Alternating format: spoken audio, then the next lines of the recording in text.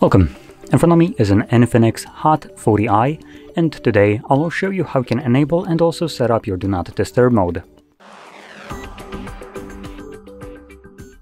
So to get started, uh, let's pull down our notifications by swiping down from the top of the screen and then swipe down once again to extend the toggles and also to show the names for them.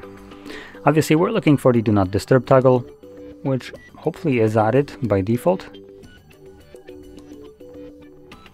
Oh, there we go. It's right over here for me.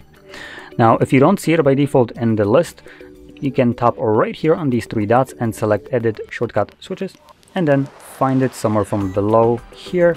Click on the plus button next to it, and it will get added to your list.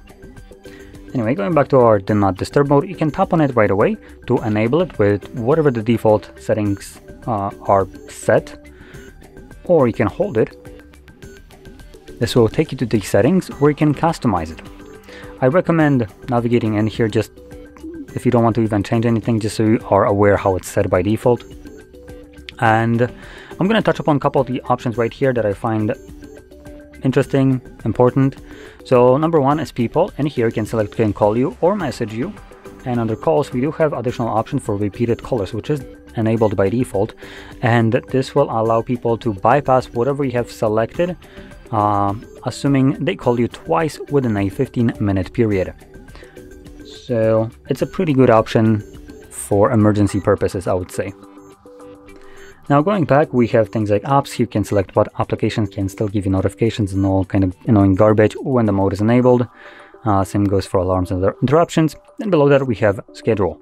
Here you can select, enable and set up your fully automatic schedule, which will automatically turn on and off your do not disturb mode at a provided day of the week and start and end time. Now there is two on this device that are pre-made, which is sleeping and event, and you can tap on the gear icon, there we go, to actually view how it's set by default, change it if you want to, and you can also add more by clicking right here, add more. Now, if you're planning to use a schedule mode, just enable it in here by tapping on this box like so. You can see it's now on. Though the toggle itself is on, the mode isn't as it's not 10 p.m. just yet. So it would enable after like three and a half hours. Going back, we have a last thing, which is the dur duration for quick settings. This defines what will happen when you press on the toggle manually.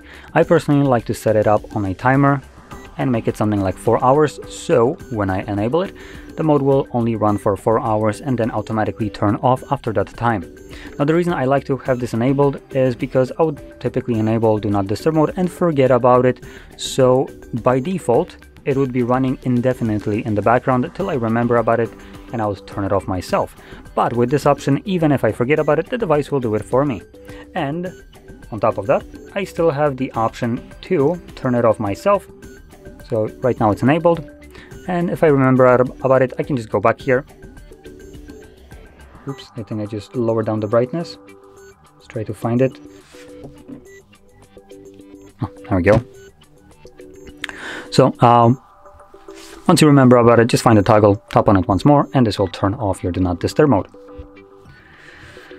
So, with that being said, if you found this very helpful, don't forget to hit like, subscribe, and thanks for watching.